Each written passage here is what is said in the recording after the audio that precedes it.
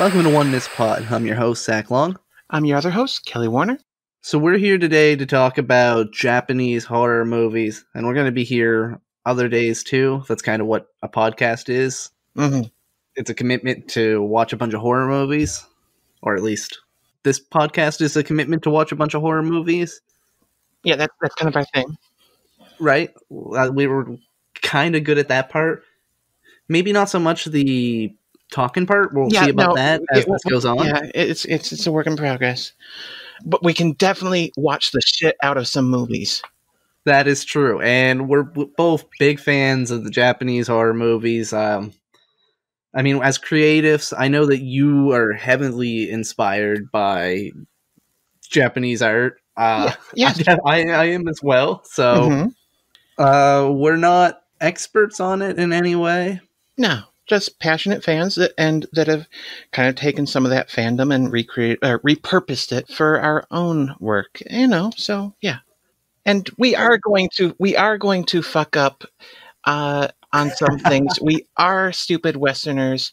We do it with only good intentions. Promise. But we will say some names wrong, and we apologize. Getting that out of the way now. You say good intentions, but wait until we get to the episode of about Audition, and we realize, like, oh shit, that's just you, Zack. Ah, damn it. Disappointment. But we're not there yet. Now, today we're going to talk about a different Takashi Miike movie, One Missed Call. Why is it episode one? Because we stole the namesake for our pod because it sounded cool. It did. I mean, it sounded a lot better than the Japanese horror podcast, so. Yeah, I mean, that might have gotten more listeners, but fuck them. No, wait, no, we love our listeners. Stay. Yeah, no, yeah, but no, no, that would have gotten other listeners, so still, fuck those ones. Mm. Uh, Ours are fantastic, though. If you're listening, you're you're on the right side of history. Now, if you if you heard the intro, there's that's a lot that's a lot of sounds that come out of modern Japanese horror, specifically, and that you have the ringtone sound, which is, I mean, phones are very big in Japanese horror in the early two thousands. You have the grudge, you know, like a grudgy sort of sound, and you have uh, a static that evokes technology. All these really speak about films that today's film, One Missed Call, touches on to at least some degree. Why that those films are definitely going to be big touchstones and films that we have to talk about. Mm-hmm. We're not just going to use this show to cover that period.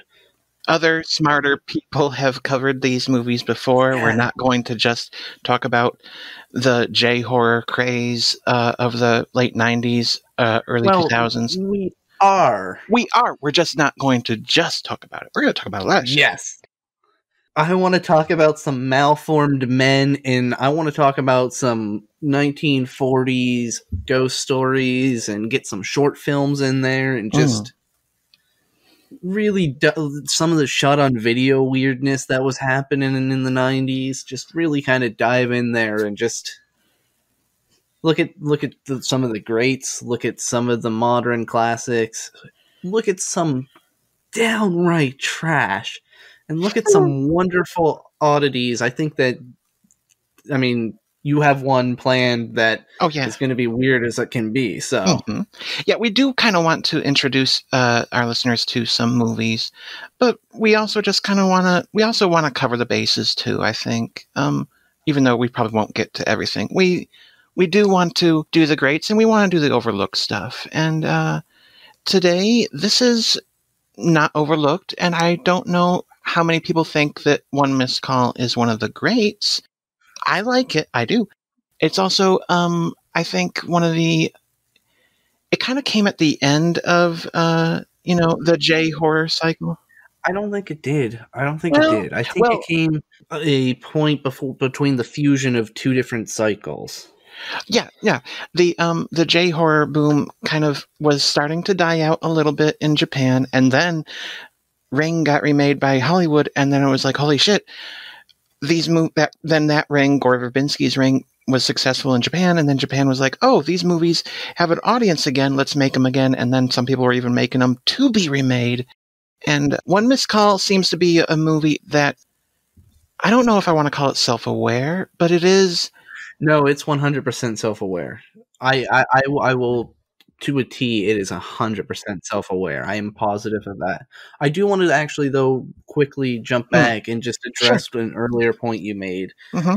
where when introducing, you said this wasn't overlooked, and I think that it's actually, I think that, like, it was big at the time, but I feel like it's been set aside, and you hear like the Grudge, and you... I would agree with that. I would agree with that. Yeah, I mean, it's it's kind of been. Uh, I mean, recently it got re released uh, on uh, Blu-ray by Arrow Video, and that's going to help it uh, find some new audience or or kind of be rediscovered.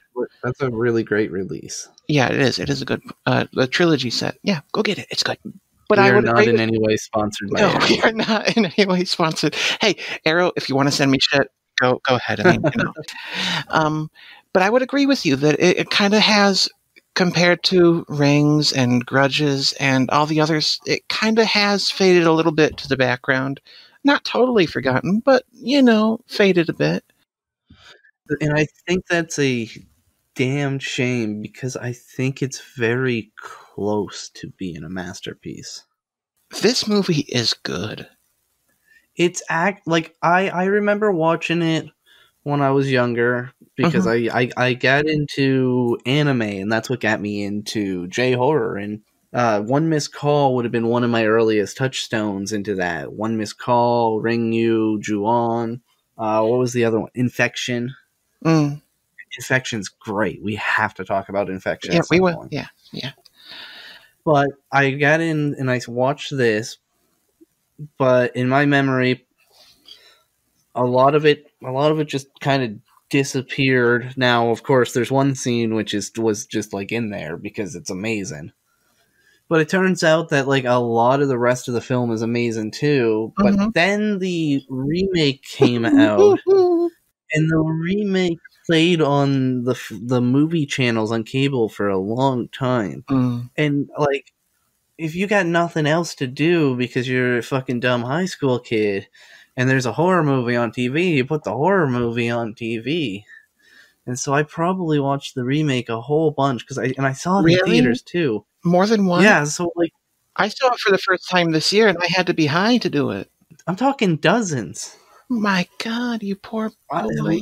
I, I know. Listen, listen, listen, mate. There's it's no surprise I'm a fucking masochist with what I art. But but I watched it so much that like m- what I remembered turned out to be more from that than it was from this movie. Oh. And of course, since then my uh my relationship with Mike has evolved. So watching it has a, has a completely different feel. I, I would agree with that too. I don't. I think I saw it on late night uh, TV once, uh, and the first time, and I saw it then just as a fan of Japanese horror. Watching it again uh, the other day, I watched it as a Takashi Miike fan, and so I do feel like there was different things to appreciate or think about in in terms of how it fits into his filmography.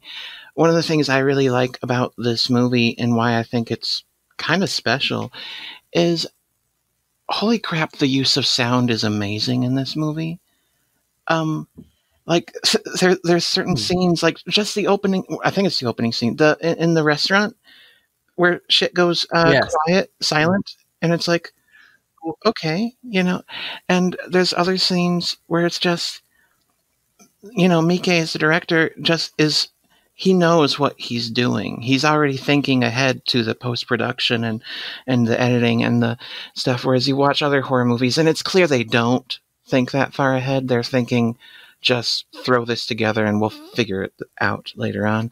This movie seems so meticulous in its scares and its uh, ability to build dread, and I think that's something that's kind. Miike's not really always known for. He's known for the shock and the gore and Ichi the Killer and, and stuff. And uh, this one, I think, kind of had a, a different side of Miike, the horror filmmaker.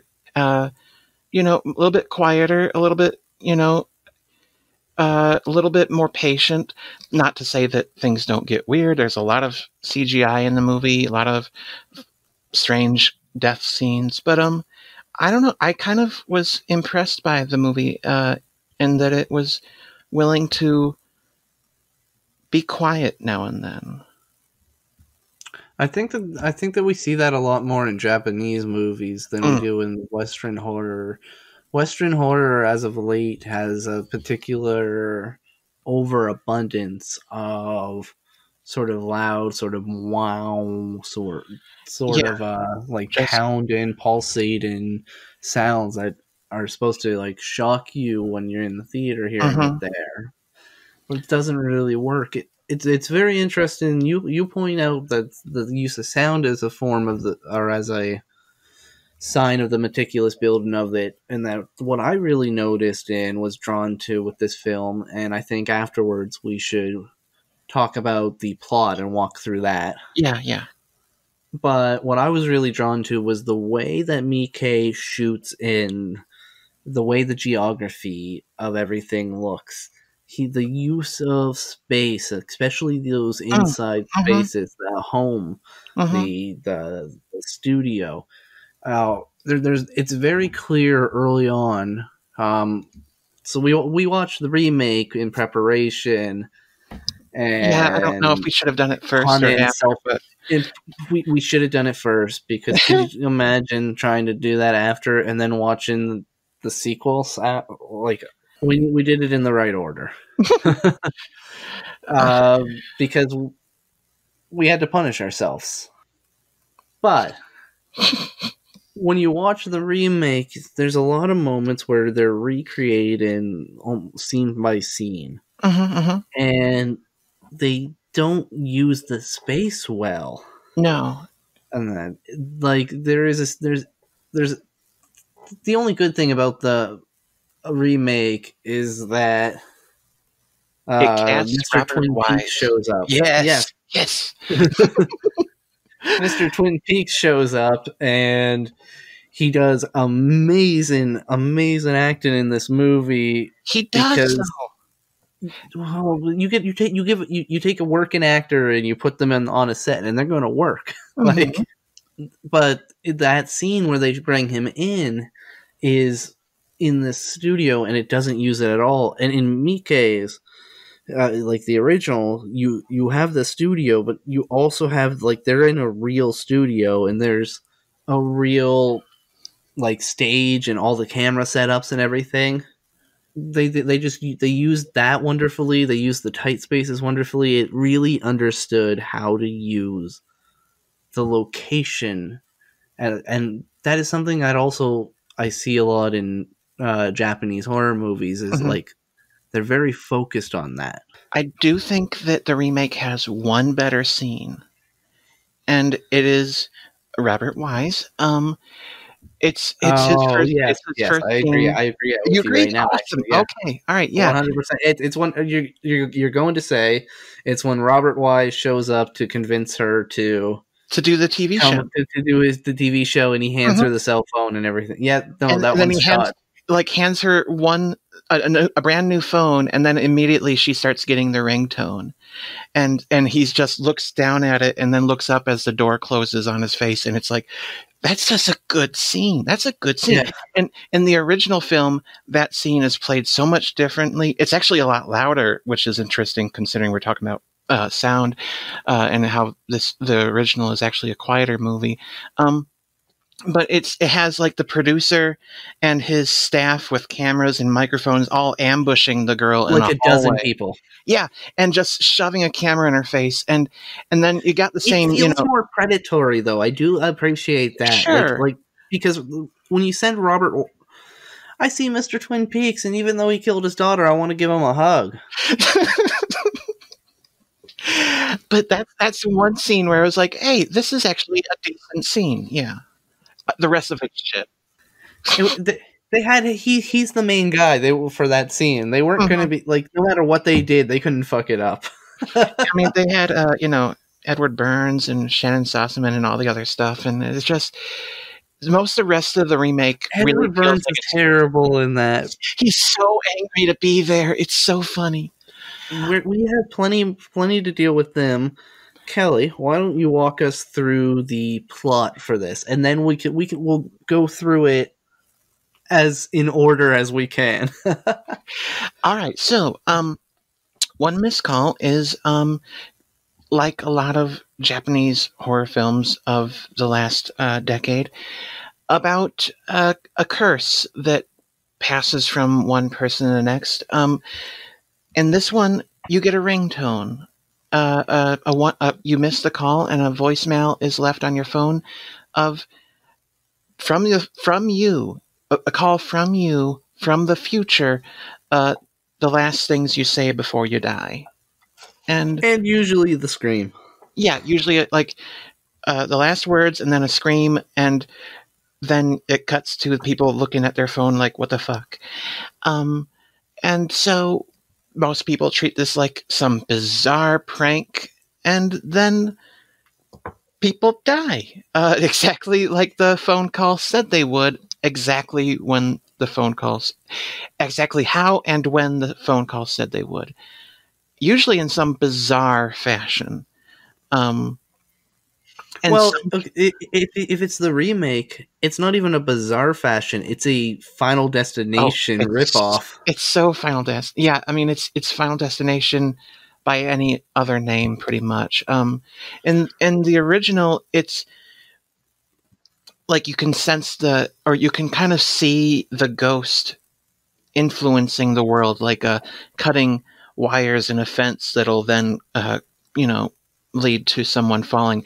At one point, there's an interesting point where someone seems to know they've said their last words, and then the elevator doors open and there's an empty elevator shaft. Like you imagine that they would have said that and then stepped into it, but and you know like but he seems to be aware of what While happened. he slowly looks up at it, and Yeah, it's like a long, loving shot, and then he looks down, and like something is holding his leg. Yeah, some CGI ghost hands grab his legs and Well, drag well, him well, down. no, no, well, no, no, it's not just CGI ghost. It, it is like it's not even a full hand. It's just like No, yeah, it's the implied presence of like something because it's invisible. It's just something is like it could be a force, it could be a hand. Like you don't know really what it is. and so then uh, as as this curse starts to affect uh, all the friends in the in a certain circle um so, as it starts to affect all the friends in a certain circle the, the uh, try to figure out what the fuck is causing this and solve the mystery. There's always a mystery. And uh Well, let's with that then, because that that gives us the basic plot. mhm. Let's go through this then from the start because we start in on the really nice scene. We've already mentioned it a little yeah in bit. the restaurant yeah We're- yeah, we're in this restaurant and we're we're meeting a bunch of characters, and we're not going to remember half of them, but that's Mhm. fine. The movie doesn't isn't worried. We're we're focusing on one, and we're with her, and she she gets easily creeped out. It's clear, and she's got a problem. She we're, we're learning she's got a um, she has a phobia of peepholes hmm we're learning a few things. We get the that quiet moment, but then we go to the washroom Mm-hmm. and we have a very interesting moment where we get the like like we're talking literally the second scene minutes into the film. We get that first call. Yeah, and uh, the the girls in the washroom are confused and a little bit alarmed, and they go back out to the restaurant and pass their phone around, and everyone, all the friends, are like, "Whoa, what the heck?" You know. Do you remember what she's saying? I don't. Rem- I don't remember my Um. Oh, I think I think she I think she says, "Um. Oh no, it's starting to rain," and then yeah, it's just it's just something. It's something and simple, not scary at all. It's just No. like it, it's weird that you're hearing yourself say this. Mhm. but it's like this is a weird glitch. Oh, this is disturbing. Yeah, and so then what we what happens is the girl that got that phone call, you know, uh, a couple days later, she is out on a walk on the phone with one of her girlfriends, and uh, Our main character it turns out. yeah, yeah, and um, uh, is on the phone and says, "Oh no, it's starting to rain," and then she uh, falls to her death, and um, She does not fall to her death. Okay, okay, Kelly, Kelly, Kelly. She gets hit by a freaking train. She falls onto a train. The train kills her. I don't. I think. I think the fall was okay. I think. It, I think it's the train that did the killing. That It's like I'm That's my fighting with the, this, my uh, anti-spoiler, you know, tendencies. Oh no no no. We're we're we're, we're going through this with a fine tooth comb and that. Like it's All like right, that. fine, fuck Like it. it's a scene from Spaceballs. So, so she she fucking gets creamed by a train, and her arm gets cut off, and then the arm is in the dirt holding No, no, no, the okay, phone. now you're going too fast. We gotta break. The, we gotta we gotta talk about the scene and that. So our our our girl is on. Our lead character is on the phone with her, and she's just like like they've been in class together, and in class. She was saying like, "Hey, aren't you worried? Like this shit's going down tonight. Like you had that call. Like she's being sensible about it, and the other girl is just happy because she's flirting with this new guy. Yeah, So when she calls at night, like it's the friend who's on the phone that's worried, and this girl's Uh-huh. oblivious, and she's walking across like a train. T- she's going over a train track, so it's like this uh, a uh, bridge, a bridge. uh, elevated like walkway, Yeah, yeah, yeah. and we start like getting close-ups of the fence, just like breaking. Yeah, we're not really sure what it is. And then suddenly like she just fucking gets grabbed and thrown through it as a fucking train is coming and smacks her. The the the remake does do it better but it also is kind of almost like a comedy shot. It kind of is a little bit goofy looking, but at the same time, it's uh, at least sticks with you longer. It's because it's like, oh shit, it did that. I, the original handles the arm much better though Oh, yeah. it's such a long So slow zoom out so as we basically, you know, we know that she got fucked up by that train. Um, we see her arm, her severed arm, uh, in the gravel next to the tracks, holding her cell phone, and then the severed arms uh, dials the next number, and thus the curse is forwarded to the next person. And that's basically how The the, movie works. it, it, it that's how it works for the first half the movie stops doing that Yeah, because like the so the next person we don't know who got called and then our main character meets up with the guy who who dies by the elevator shaft Mhm. and the cool part about that death is when the open sh- when he gets pulled to the shaft like a second like the doors close and then a second later they reopen and it, it's a the elevator's there it's normal Yeah, so there's no way that, full could have actually people, that right. way Right, yeah. And then we see at the bottom of the shaft, the dude is down there all crippled and broken and bleeding, and he calls the next number. Yep, and so that one gets us to this girl. We have a scare scene. Let's build tension where we don't know if it's our, our main character or her, either her roommate or the girl she's staying with. I don't remember what's happening at that point. Um, it, it didn't do a good job establishing that part, that the that facial relation. There's a few things that it it kind of it does kind of skim over, like uh, hell, the leading man. It doesn't really matter though. No, you, you you're able to follow it, you know, and that's what matters the most. there's a couple scenes that we have in which like uh characters are mourning over the deaths and there's this character that we see there at times then we have this scene where Yeah, a male know- character, uh, male an older character. man, an older man. Yeah. Yeah, well like 40s yeah, yeah, older than this group anyway. yeah because the group is like in their 20s Yeah, college girls and stuff.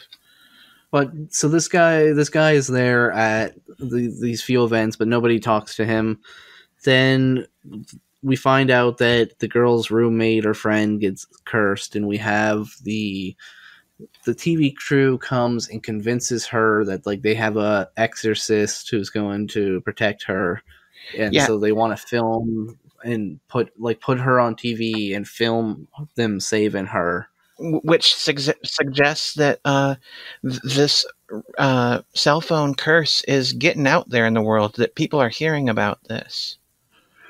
Yeah. So what what is also interesting well, that's actually one of the parts that's mm, one of my favorite scenes early on, and there's a couple moments I really love in this movie. But one of my favorites is like the way that they learn about it. eh, The curse is they just end up talking to some schoolgirls on the street because they're just they Mhm. overhear them talking about it, and they just run up and go, "What are you talking about?" like like it's very popular and uh, so as the friend is taken to go do that, our lead girl meets this older man who it turns out to be a detective. I don't think he was. I think he was a um. Fuck. What was it? Well, he quits later on. Well, yeah, but I thought he was a mortician. I thought No, he was no, the no, detective no, no, called no. him Mr. Mortician. I th- I don't I thought he was the detective because he calls and quits later on. All right. And- It- he, he basically plays a detective role, so it's easy enough to. Uh, in either way, he, He- works he for the is- city. Yeah. He, I know he's a detective in the remake and too. Yes, he is in the but- remake, but yeah. Well, yeah, it doesn't matter. What the point is that he is trying, like he is investigating deaths of this curse, and him and the girl go off and start the most boringest part of the movie. which is basically they uh, they try to you know figure out the mystery what is causing this curse and and in this we kind of get some uh, we we start to learn a little bit about um, a little girl and uh, and a tale of abuse. And fingers start being pointed at a mother and so they try to find a hospital records and all that sort of stuff. And of course this this uh, circles back to our leading ladies um, fear of peepholes, which is related to her childhood abuse. And so there's a, a, a sub a, um, a theme of abuse of children that that kind of runs through the movie. You don't see a lot of it, but it's there. And um, Yeah, it's very important to note that the part of the mystery with this mother is you had a she was a mother of two, one of which would constantly get hurt, and one of her children, one of her children has passed away, and she has been missing ever since this fire had happened. right, the mother is So, missing. like, yeah. and so the the child that would always get hurt is still around and but she In a hospital. doesn't speak because it, she went through some really serious shit hmm and so that mystery happens for a while and you learn these and none of it is very interesting It's fine. It feels like a necessary part, or, or I don't know if necessary is the right word, but i think that necessary is exactly the right word though because it, i it think seems like it just fits with the J horror uh, expectations of the time. well the first her the first half of this and the arrow the booklet that comes with the arrow uh, release definitely speaks about this. The first half hits all of those touchstones. Hmm Oh yeah, Like- there's so like much ring and and grudge stuff in there. and dark water as well Oh, like Darkwater, they're- they're- i think i think that you need to have that investigation part. Hmm i think that the Mike, the part, the fact that it's Mike comes with how confused it gets later. Yeah, there there's some uh, stuff that I'm going to be honest, I don't totally understand in this movie, but I think that's okay because it keeps with the tone for the most part. Well, maybe not the final shot, but we'll talk about that in a little bit. And so the the the roommate, the best friend of our leading lady, she gets put on TV. Uh, Can can we take one moment? Uh, Sure. can you what what was different about her her call? Oh, the the the friend, she saw a video instead of instead of just a phone call, like a just hearing her voice. She saw her own face, uh, like in a short little video clip, and in the background of the video clip is an arm that looks a little bit mysterious and creepy. As time gets closer and closer, though, it starts to become a face that like yeah, the, the arm like starts moving out of there, and you know it starts like a person appears. It's Yeah. very um, like Grudge coming down the stairs. yeah, a, a little bit a little bit pulse like too. You know, Yeah, yeah. But yeah, so this is this was this scene is I love it. I love this scene. the TV scene. Yeah. So we, our characters, the the main investigation couple, they they show up and they are trying to get in and they can't get Yeah, in. they want and on the then set. they are in, but they can't do anything. hmm But the Exorcist like like comes out after this big show and is doing this thing and looks really fancy and cool. and then we cut to our characters who are doing whatever, and they're kind of watching. It's blah. Mm-hmm. It's very cool because instead of like things uh, like like things go down in a second when it finally happens, Mm-hmm. but right before it does, the the Exorcist is giving this big speech after the commercial break, of course. yes, yes. They talk about a commercial break. tuned. Yeah, yeah. Well, I mean, they had to make money off it, and that's what yeah, and I love that they have these they they have these um, experts on the show also to to debate whether or not this is a real thing. Meanwhile, our our best friend character who's watching her clock tick down is freaking the Oh, fuck oh, oh, out. oh, oh, oh, that's that's where I yeah I'm I'm I'm getting my favorite moment is in the whole film. We're almost there.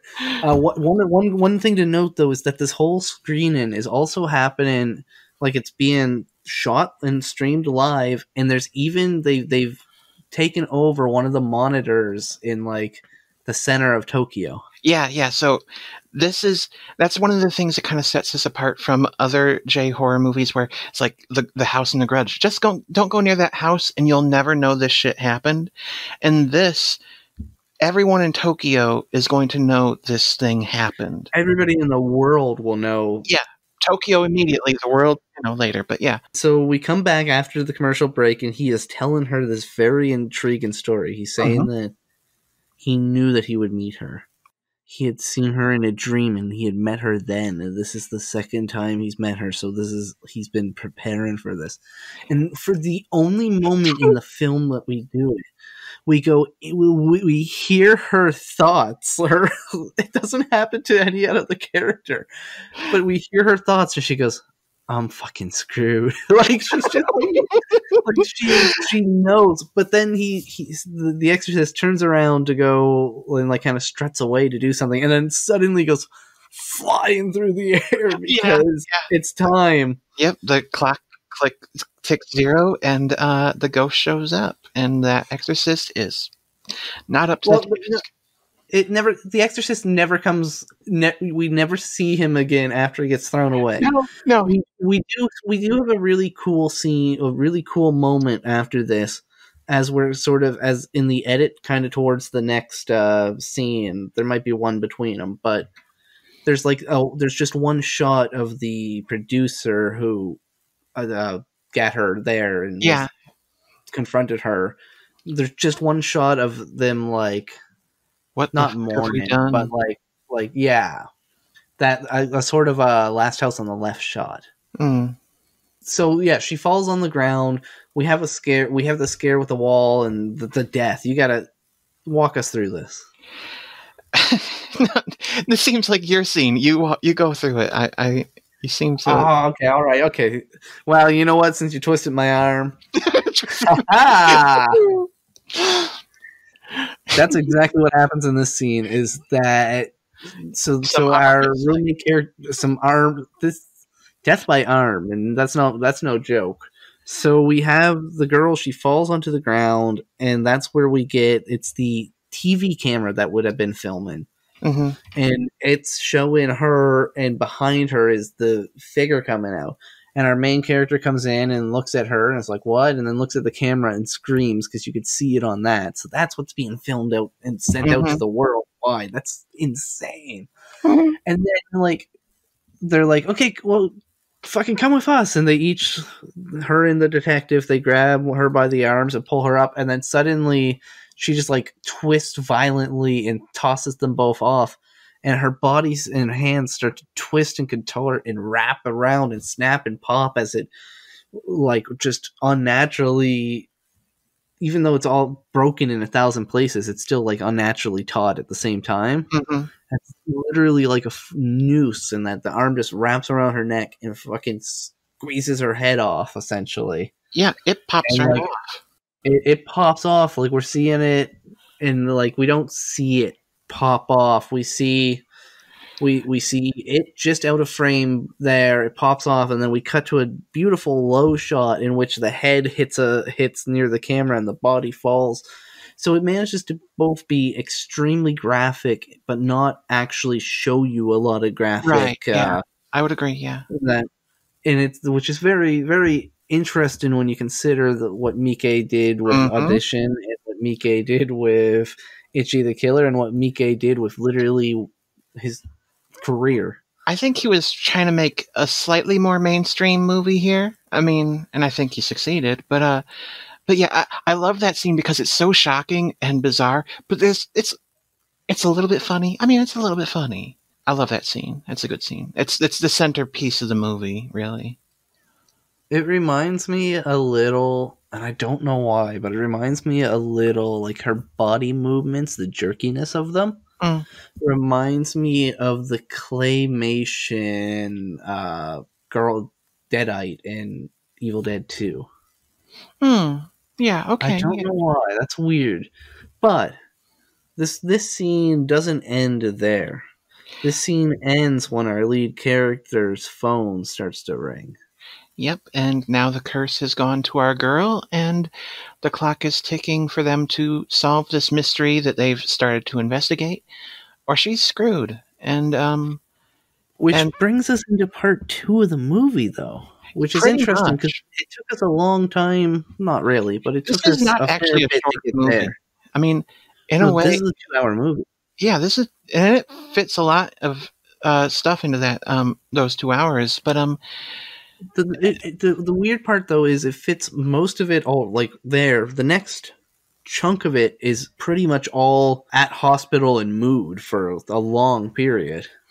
yeah, there um, you know, we kind of get a little bit more of the information about what caused this, and I kind of want to. I don't know. Do we want to go into all that? I kind of don't know that it matters. Well, I don't. I don't think. I really don't think we need to go into it because a kind of a. There's a mystery with the family, and essentially, what it comes down to is the dead girl is evil, Yeah, and the mom didn't do it. and but they have to find. They have to go to the church to find, or sorry, go to the hospital. I forget why. Honestly, it Uh, was a little confusing. She found out it was the hospital. Yeah, no, there is some confusing parts. And- Uh, there, there was that. Oh, uh, oh no no no no! I remember that she mentioned. Okay, it was when they heard when they found out about the hospital originally. They heard about the fire, so they thought it didn't exist. mhm. So she heard that she hears she heard that the hospital is still standing despite the fire. So she's like, "Oh well, I'm going there." Yeah, so and she goes there because. guy. She kind of goes off on her own. But we get into we get into a long period about a quarter of the film, honestly, which is her dealing with supernatural shenanigans in the hospital. And there's an amazing, amazing moment that really stood out to me, Hmm. in which we have a ghost on the ceiling coming at her. Oh. And it's evocative of the 1950s ghosts. It's evocative of a whole history of ghost stories because Mhm. of course it goes back all throughout the mythology but it's very it's a little bit twisted because it's standing on the ceiling and moving but it, also its hair is not like it, it's still falling upwards.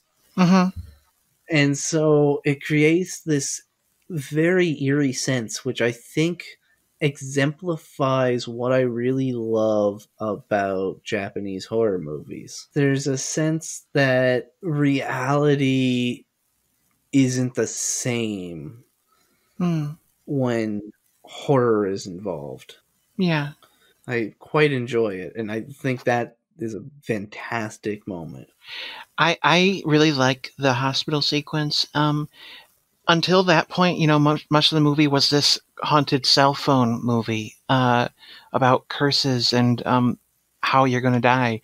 The hospital sequence basically sets that aside for a while and decides now it's a haunted house movie. It really does. Like it, it, it feels a little bit like Sweet Home by Kurosawa, and it, yeah, it does. It does have a very like here is a haunted house movie, Yeah. but it and it ends like we figure out the we we we stop it. Oh, we didn't stop it, which is a great moment. how, how many times in this movie, and, and for that matter, in all J horror, do they stop the curse and then, oh crap, it turns out we didn't stop the curse. Now we stopped it. Well, maybe not. and uh, yeah, so they, they, they figure they stopped the curse. They figure they stopped the curse, realized they didn't stop the curse, figured out that they stopped the curse again in like a five minute moment section. Yeah, yeah. Uh, so, but um, she uh, they they find There's a really beautiful shot in that.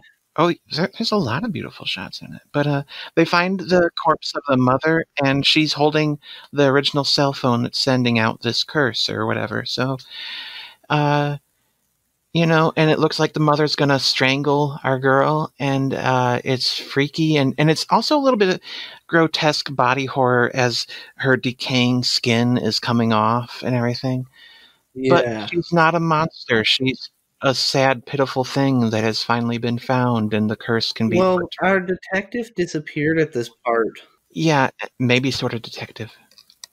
our, our, yeah, our, our maybe sort of detective disappeared at this part, and when that happened, we don't know. Like we see the the mother coming closer and closer to our Mhm. main character, but then we cut back to him, uh, and he can come in and sees this really beautiful shot with the her cradle and this dead body. hmm But why he's locked out of the room? Something very important happened. Yeah, so um, being locked out of the room is a theme that will run across all these movies. Um, That's really what ties them together, almost more than cell phones. yeah, no, there's always someone in trouble and someone that can't get to them because a door is closed.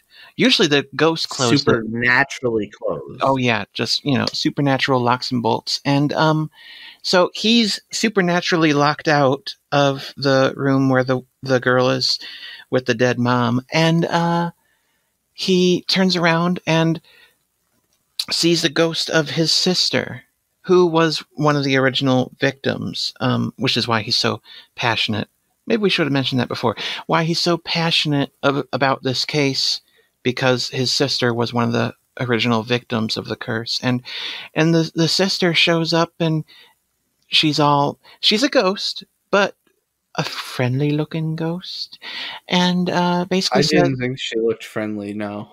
well compared to the rest of the movie Yeah, but I don't trust ghosts. Period. okay well she basically says to her brother uh we something along the lines of how we each have a sky of our own. Now that's an odd throwaway line that will become very important at the end of the movie that if you're not paying attention to you won't fully get what the heck is happening at the end of the movie. And then even still if you pay attention you're still going to wonder what the heck just happened. I'm really excited to get into that because you know more about that than I do at this point. Not much more now that i just But told you we'll that but Well, I already. I mean, I picked up on that the first time, oh i didn't I thought I he, he. I mean, he dies at the end, right? He get he got his own sky. kinda i mean okay we'll get to that we'll get to that We'll get Um, to that. We'll get to that. Okay. So anyway, so he she comes back in. The mother's that the cops show up. The cops the who cops- never believed any of this stuff before now basically have to admit okay so well, they had they had to because the, the TV. Well, it happened on the TV live. yeah Like they had they had to. Which yeah until then they were just blowing this off so disrespectfully it was kind of amazing but it makes it really disappointing when in the next movie they bring that up and then just drop it. yeah But um, that's that's that's another nightmare waiting to happen. Mhm. So our girl go, goes back home. Our detective finds out that it was not the mother that had uh, been abusive. It will because there was a there, they had a camera. nanny cam Oh, the, the dead body, the dead body of the mother had a, a cassette from the nanny cam. The cassette had the young girl dying. So it, the cassette captured one young girl, uh, cutting the other young girl, but got caught by the mother. And then she started to have an asthma attack, and the mother took the, her injured daughter and left the evil one to die of an asthma attack. So our detective starts going back to rescue the girl. The girl doesn't know she needs rescuing yet. What essentially this means is that the mother was actually trying to call people to warn them and tell them about the yeah girl coming for them. that's the thing that I, I I didn't get the first couple times that I've seen it. I, I didn't get it until you said something about it, where basically, yeah, she wasn't passing forwarding a curse. She was calling people to warn them the ghost is coming for you. This is how you die. You have this much time to figure it out. That's what the mom was doing. Well, and she's doing this because the daughter is basically trying to get vengeance on everybody that was in her phone. Mm-hmm. The, the daughter's uh, a horrible person. The yes, the daughter's awful. The daughter's the daughter's the worst, which makes for another scene I really like. But it's really cool. So the, the our main girl is in her home, and the detective starts banging on the door, and so she starts coming, and then he's like, "Hey, hurry up! Hey, uh, get here!" And then she, he says something like, "Hey, how are you going?" And she and she was like, she responds, and he goes, "Hey, how are you going?" She responds, and he goes, "Hey, how are you going?" Like it just gets stuck in Yeah. a loop yeah. and and she needs she realizes she needs to look through the peephole. Her she gets up to the peephole, and imme- and she's smart enough to look away immediately because like it comes, it's it's like X Men style, like a Wolverine claw. Which, if I'm being honest, where did, where did that power come from? But whatever. I well we we never we never saw that she didn't we never saw that she did not have powers. we never saw that she wasn't Wolverine. we s- that's exactly so like we we don't know it's very maybe that's why well well we did see she used a knife but yeah. maybe she was gonna test out which one was sharper. Yeah, so uh, so our our ghost uh, our uh, ghost girl is on the other side of the door, and then suddenly she's in the room because ghosts don't care about doors. Again, doors, and uh, they just want to scare you. Yeah, no, that that- yeah, make you look in the peephole. Yeah, see see your dead grandmother hanging. And uh, so to cut a long story short, basically, uh, the ghost girl possesses our main girl. well And then- well, well the we, we we cut away so we don't know that's happened we Yeah, meet, well- we, go, we we come up with the the, The detective is coming at her, and she's screaming, and then. Uh, we cut to the detective detective and we come upstairs with her and everything's normal everything is fine and they hug and it's beautiful and then she For a sticks a, moment. fucking knife in her in his stomach and then we see in the reflection that oh it's the little girl that's in the reflection not not not the leading lady. And so that's bad news. Yeah no not a fun time.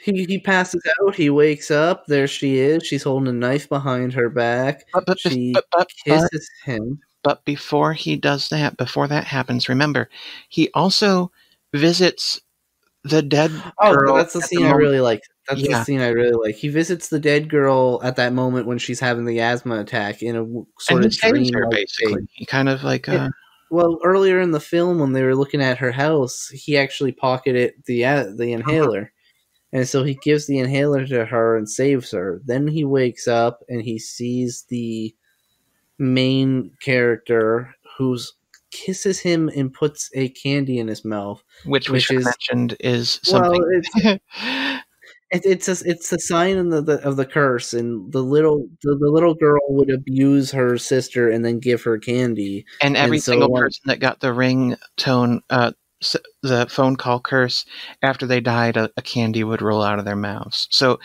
the the ghost always gave you a treat after she punished you Wait a second. After, so was, was he already dead then? Is he already dead before we see before here's he the thing up?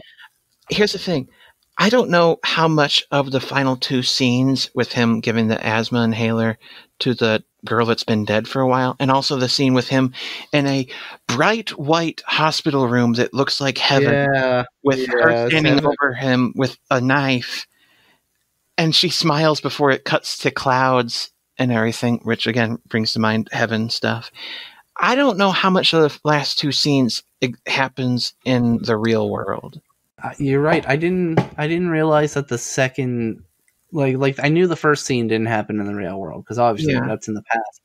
But I didn't really take into account that room. Definitely isn't a normal hotel room or hotel. that's where you take to stab people. Um, no, it wasn't a normal hospital room. there's but- something wrong with that final scene and it leaves you to wonder and i don't know that i have answers for you But I, I think do believe she that gave, she gave you the thing afterwards, and so I think that he has to have been dead in that, Yeah. or the other the other way of reading it. Well, actually, so we, what we should mention is like, so she's holding the knife there. She puts that in. He closes his eye and enjoys the candy. Opens Mhm. them. Which She's is also normal. yeah, she's normal. We see the clouds, then we end. Yeah. And so so if he's already dead after because she's given him the thing, that means that like he is in the afterlife and his a- and she's also dead hmm because they're together. And so it's Yeah. kind of cute. it's kind of cute, except she has a knife. And but um, Well, she hasn't she has a knife only until she doesn't. mm, We end with her normal. So like uh, that could be I the think relinquishment. Yeah, I think they're both dead at the end of the movie. I think that uh, her body at least is sacrificed to the ghost, and and he's stabbed to death. And uh, I think that we recall the sisters' l- lines to him about we each have a sky of our own, and basically That's why the his- guy means he's dead Yeah, for sure. yeah. he he his heaven is with her, which is sweet. And it's That is kind of scary.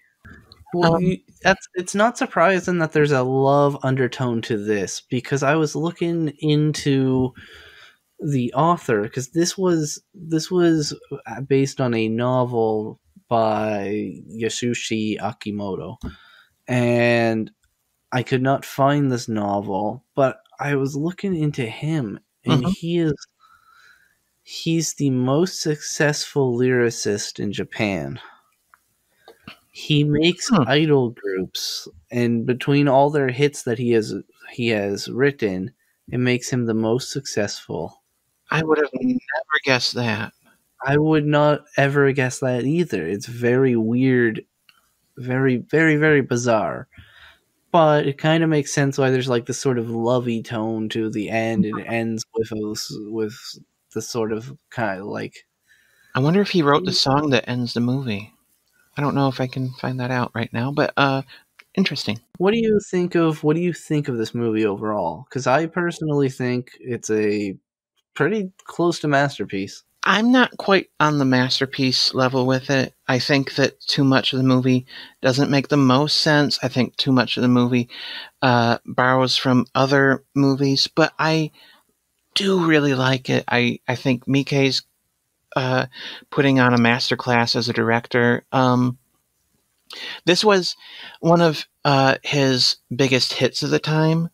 Uh, he before then he he'd made he'd already made audition, but audition was more successful overseas than it was in Japan, and so he was Well, still it influenced like E- Eli Roth in Hostel. Yeah, and all yeah. that. yeah, and um, but Miike, you know, was still something of the bad boy uh, in Japan and hadn't really done much uh, mainstream horror. I mean, Ichi the Killer was a success, but how the hell do we call that movie a mainstream movie? Anyway, No, that, that movie that's a, that's a that's a literature adaptation. um, but I uh, read that manga. but um I think it's a it's it's a it's a good uh it's a good movie and Miike does a really good job. I like um I like what our leads bring to it. Uh Ko Shibasaki, uh who plays the leading lady. We saw her previously in Battle Royale. Uh she's really good, very pretty. Um well, we'll see her with, with Miike again later too. In um, what is it? Over your dead body. and uh, leading man Shinichi Tsutsumi, who I adore because he's so fucking funny. Um, in this movie, he's not funny. He's this is one of his first leading roles, but he's he's good in it. In a basically a role that uh, oh, let's be honest, a lot of actors could have played, but he's he's good in it. Um, and I also like seeing um, some other Miike regulars show up in the film, like uh, Renji Ishibashi, who plays the detective, the very skeptical detective, and Goro Kishitani, who um, he he Was he the guy that was looking on the computer at dead bodies? yes yes yes he was. I was, was trying to figure out who he was. yeah he's in a lot of Miike stuff. Um, Okay, so he's in Ichi then, right? He is in Ichi the Killer. I I couldn't tell you if he's in Ichi, but he's in um, Graveyard of Honor, uh, the Yakuza video game adaptation. He's awesome in that movie. that movie's actually good. Um, but uh, he plays odd characters in Miike movies, and uh, Okay. he's a he's an odd character in this one too. Um, Yeah. So it's, It's, it's actually good really interesting. It's really interesting to me, though, that you pointed out that you think one of the detriments to the film is that it's heavily referencing and borrowing elements from the the J horror of that time. That's actually one of my positives and why I recommend it. See, reason why I say that is that sometimes it's like you can you can how much does it add to horror cinema if it's taking so much from other horror cinema? I think that it does enough of its own that it's not a complete ripoff, and I think that it actually makes for a really interesting and a kind of I almost want to say broad uh, for a singular film, a sort of broad entry point into Japanese horror. Like if if you threw on this podcast because you wanted to listen to our voices and not because you're a fan of Japanese horror, then th- I think this film would actually be a good starting point. I would actually agree with that. I mean, I might suggest other ones, but no, it's a it's a perfectly good place to start. It covers a lot of the bases. It's well made. Uh, you get to know one of the bigger names that will be coming up a lot more, Miike.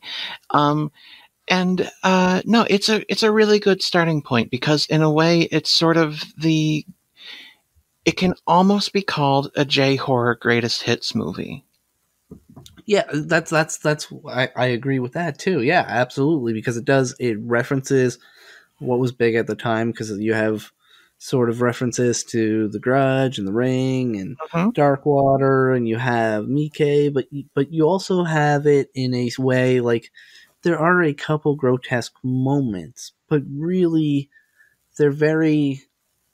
It's a very tame movie. They're grotesque in the way that the um, It's a horror movie. I mean, it's it's gonna be it's a horror. It, it- it's a horror movie, but it's a horror movie in the way of like an amusement park horror ride is. Like it's Mm. it's it's not it's not the extreme horror house No. that they're gonna throw you in the wall and bury you alive.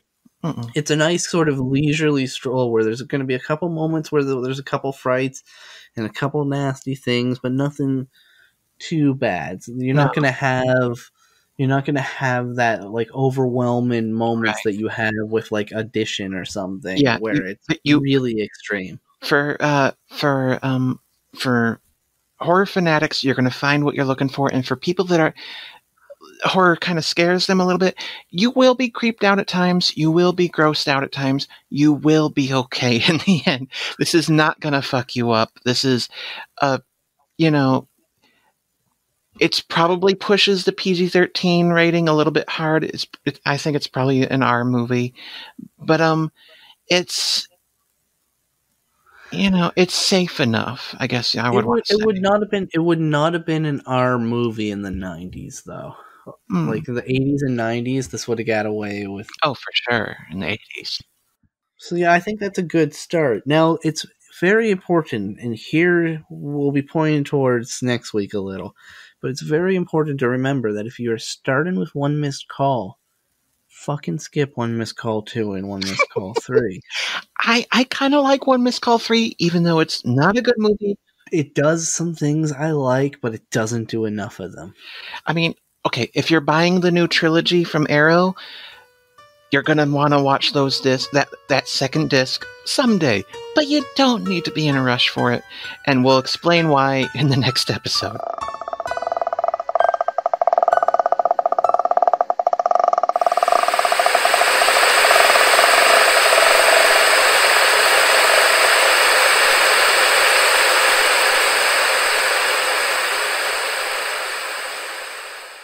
Welcome to the second episode of One Missed Pod, where, much like the characters in this series of films that we're covering, we're also cursed. Our curse, unfortunately, is also the One Missed Call Ghost, and the fact that the sequels aren't a lot of good.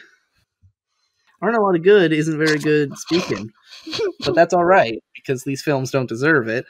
so, Kelly, why don't you take over from my words and introduce yourself and today's topic? Uh, yeah, yeah. Uh, so, um, Hi, I'm Kelly Warner. Uh, that was Zack Long. Uh, we're One Miss Pod, and we're going to cover One Miss Call 2 and One Miss Call 3 Final today. Uh, the 20. It's actually not. It's only called Final. Is it? There's no 3 in the I- title. All right. I don't think. That, I don't think there's a three in the title. Okay. Well, um, which is like I, I have I actually want to point out how like usually usually films will stick around you'll get three you might even get number four like Mhm. usually at least three though if you're going that long. Um like when did like well if you're friday the 13th you keep the numbers the whole time. But th- they jumped off and like by the second one they're like okay nobody's going to come to this if they see the third one. If they see like a number three there like nobody's coming to see this movie. Yeah, we're we're done. We're tired too. But, but but one of the things I must give uh, this series of films credit for, unlike so many other horror franchises, is when they put "final" in the title, they actually meant it, and they did not make Yeah. an additional film. i Thank You point- God for that. you pointed this out to me before the episode, and Mhm. I was like, "Oh, they made a TV series though." But if you look it up, the TV series came out, I think, either the year before this or earlier the same year. So Yeah. they did not lie. You're you're right. It absolutely is the final and uh, we should be thankful. until America got yeah, involved. the, the remake, and they were like, "Yeah, let's do this again," and um, no one wanted to do this again, and so um, and we're just because we're Americans. No, wait, I am American. You're Canadian. I'm so sorry. I'm not that. American. Sorry. Uh, yeah, Uh, I sorry, see. sorry, See, you, sorry. you, you get it wrong on me, and I apologize. That's just how we roll here. okay, so um, but like an American studio, we're bringing the one missed call series back to you to make you suffer, and um, so yeah, let's talk about one missed call two, and then one missed call final uh today. Uh, yes. I okay, so let's let's let's start at the let's start at the beginning. And the beginning Mm. is not it's not even these it's not even the second film. We'll get to that in a second. Let's start with the beginning of this show. Why did we decide on calling it One Missed Pod? Because it sounded cool. Yeah, But that's all it was. That, that's literally all it was. You're like, okay, how can we how can we like reference Japanese, horror. horror without having to be like, hey, it's a Japanese horror podcast. Right, because we were trying all these names, and that was in there all the time. Japanese horror podcast, you know, all these scrambles of words that put J horror, Japanese horror in there, and I was like, one miss pod, and it's like, okay, we didn't come with up with anything better. Let's go with it.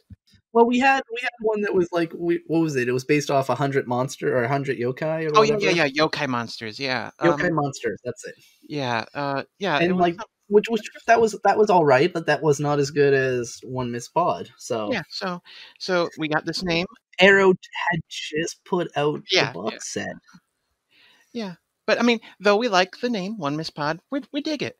Uh, it should not be construed that we love the series as a whole. We love the Uh-huh. first film. The uh, sequels, Everything are- we the first film is gr- actually great. Like Mhm.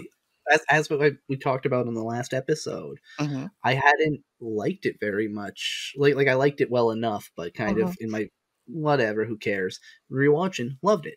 Yeah. And then everything else to do with the series is embarrassing. yeah, I I had seen the sequels before, um, years back. Uh, probably not long after when they were first initially uh, initially released in the states, and um, I th- I liked them well enough. Um, I don't know what I saw in those movies that time, um, because they're they're Oh, not. how how naive I was. Yeah, I was so I was so young. I, Um, I did not think I had seen them, and then as we watched them Yeah, we- together, and We watched them together the same night, uh, back to back.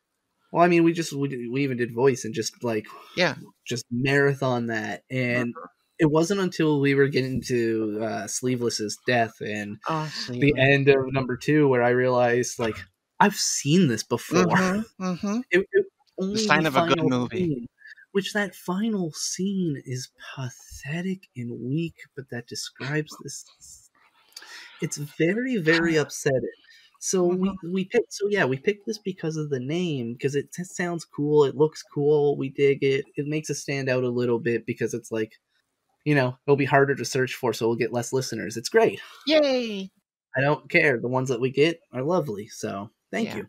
I love you. But Thank you for listening we made a mistake. um. So yeah. we, Um. we moved the graves but left the bodies. so yeah. Um. Well, let's get into talking about why these movies suck and why we made a mistake and why we suck. Well, okay. Well, okay. Do you want to go into it that way, or do you want to go into the films individually? Because we could do it either way.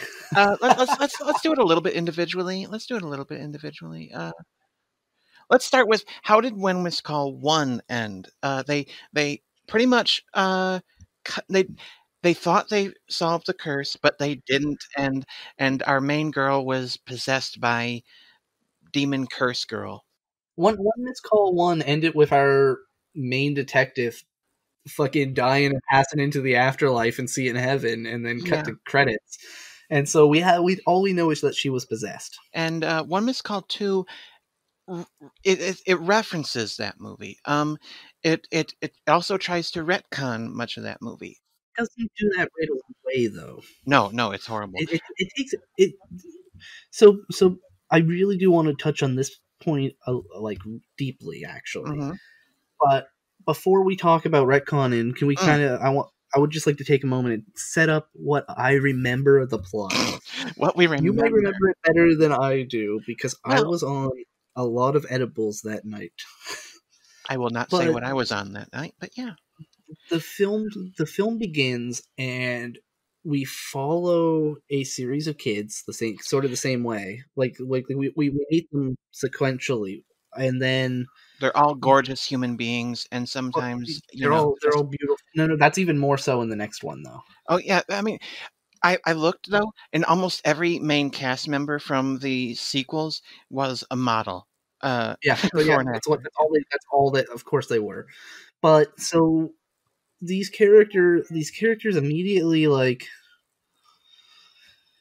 don't they don't have anything going on really like when you when we start at one missed call right away the call affects a friend of the main girl and the main girl is there to hear it and starts really focusing in on this but with this one we have a one group that gets it there but then we start going over to taiwan also with Mhm. a maybe reporter maybe yeah, there's a reporter. I think she was a reporter and she's visiting somebody there.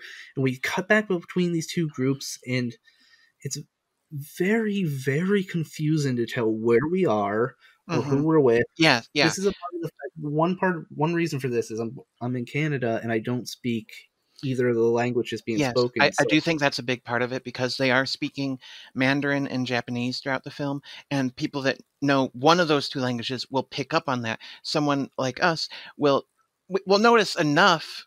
There, we can tell that's a different language, but sometimes when you're just trying to keep up with the plot, it's just subtitles, you know. And so, yeah, it in this the movie does not do a good job of uh, trying to um, make the two different locations, uh, Tokyo and Taiwan, have a different enough of a feel.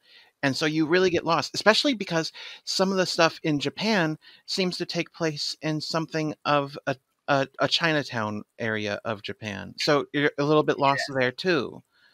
So, um, and I mean, And, there's That's- another problem too that happens, which is that there's there's the the curse is no longer the same curse. It's mostly the same. There's a there's actually a nice um, evolution of the curse throughout this series that I do Mhm. want to touch on in a moment or two.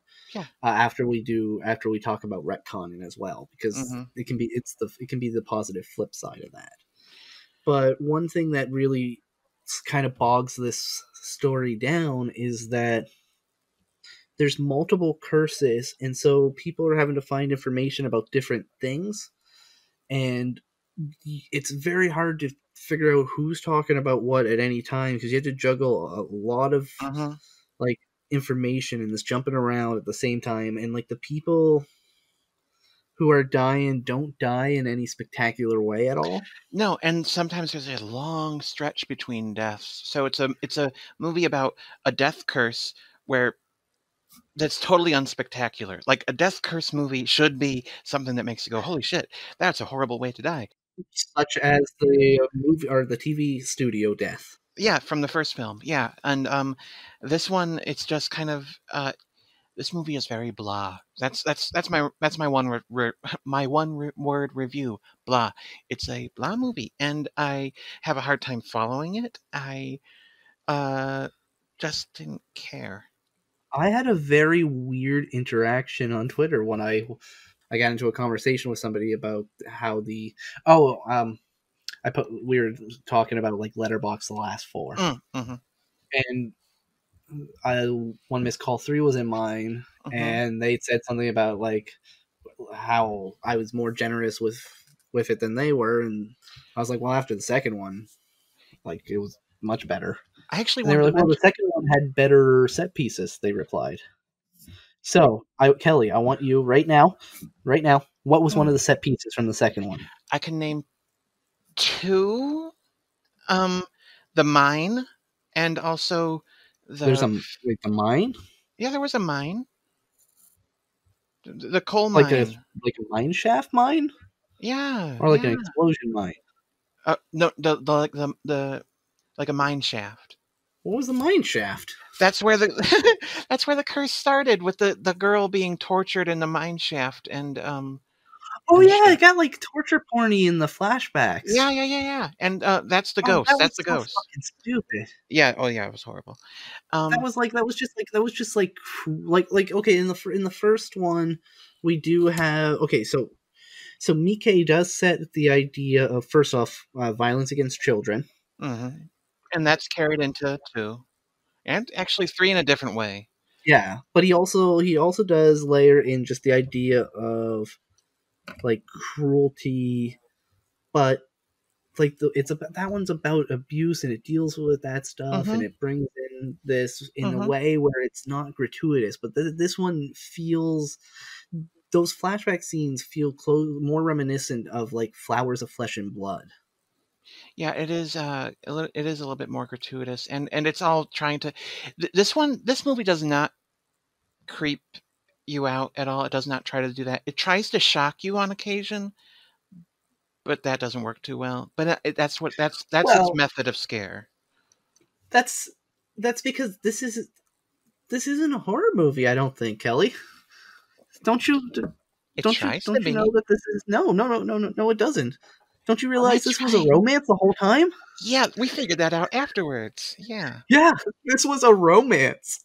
Yeah so after the movie ended we watched uh uh some of the stuff on the new arrow blu-ray and uh there's a music video for one missed call two which cle- i mean I- i think that it's uh well, when you when you hear that you go wait wait a second how do you make a how how do you make a music video about a movie where nothing happens?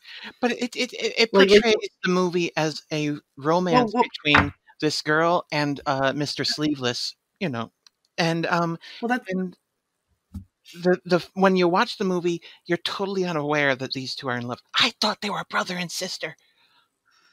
Um, the the experience that I had going into going into this music video is like, did you ever see Resident Evil? Mm-hmm. Uh, when Resident Evil came out on DVD, it had a Slipknot music video on the on it, I believe, mm. and and like so, it in that video, it's like them fighting zombies and her kicking dogs. So you're like, okay, I see how. Um, Mhm. I see how you make a music video out of a supposed sure. like a I horror movie Yeah. thing. It's like okay, so this is a horror movie, a music video for a horror movie, and I'm like, how do you do a music video for a horror movie in a movie with no horror? And then we Mhm. put yeah, and there's no horror in the in the vid- video. want- I want to say though about the one missed call music video, it is better directed than the movie itself. Oh no, it's great. It's actually Yeah, like like like fine consi- romance. Considering they had to like portray sleeveless as anything but You sleeveless. Oh, Kelly, for the audience, what is a sleeveless? okay, so um, the, the the male lead of the movie, uh, who we dubbed Sleeveless because he's basically always in the movie with uh, a, a tank top on. Uh, he's played by um, I think Peter Ho, I think his name was, and he um, just uh, the movie is just trying to make sure you know this guy's a hunk, and that's why you should care about his character. Well, he he starts out as a cook, like he's just a cook. Yeah, so yeah, yeah, first yeah. one he has Like no a sleeves. You're like, cook. okay, well, it's like it's it's really warm in there. Yeah, and yeah, yeah, that's that that's a natural uh That's where, response. that's where you that's where you that's where it's okay to be sleeveless. yeah, it makes In in a sense. movie sense, if you're working in a real kitchen, put some fucking sleeves on. Come on, But then he never he doesn't Put find his sleeves sleeves. He doesn't find his sleeves until the end of the movie. until until the end of yeah. And, until and then at the end of the movie, he betrays himself and he puts on sleeves and then he dies. And so that's the moral of the story. That's the moral. He knew that if he put on sleeves, he would fucking die. He knew that, and he did it anyway because he loved her. It's really kind of sad when you think about it, but um, I know I'm gonna cry. I'm Aw. misty eyed. I want to talk a little bit about. So we didn't realize it's a, it's a romance. So what's happening at, at, at, in the beginning of the film is like it. We're introduced to a couple, a bunch, too many characters to follow because nobody has a personality or does anything. Yeah, But and he some of them in are the in different kitchen countries. in- Remember? and the kitchen is owned by this other gentleman who has a daughter who is maybe the main character, and if not, it's the main character's friend. Yeah.